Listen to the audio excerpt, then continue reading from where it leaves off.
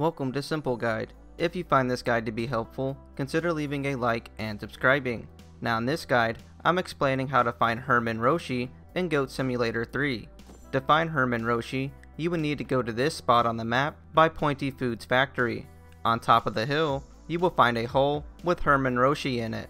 Lick him for the lick the hermit instinct.